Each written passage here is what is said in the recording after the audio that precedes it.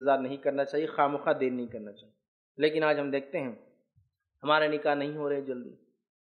क्या उम्र हो निकाह की जो मैं ताखिर कह रहा हूँ, हमारे निकाह देर से क्यों? तो कोई मुझसे पूछ सकता है कि फैज साहब, आप कैसी बात कर रहे हैं?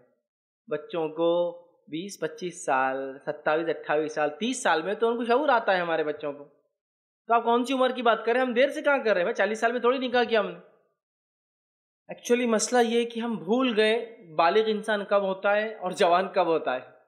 हम आधी उम्र के बाद को शायद इंसान की जवानी काउंट कर रहे हैं, जबकि वो खत्म होने की तरफ़ जा रहा है। एवरेज लाइफ ह्यूमन बींग की साठ से सत्तर साल होती है। Sixty to seventy years sixty to seventy years के अंदर thirty years is half the age आधी ज़िंदगी होगी। आप सोचिए, तीस साल में एक इंसान निकाह करेगा तो उसका बेटा जवान होने तक तो वो तो खत्म होने की उम्र पे आ गया पचास साल पे आ गया हो। कि उसके लिए खड़ा हो और कुछ करे, बीस साल का उसका बच्चा, उससे पहले तो वो पचास साल का हो गया हो।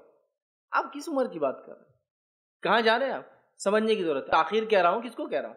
उम्र क्या होनी चाहिए? बस इतनी बात तो मैं समझता हूँ, सब समझ सकते हैं। इस्लाम ने कहा, बालिग होते निकाह कर दो।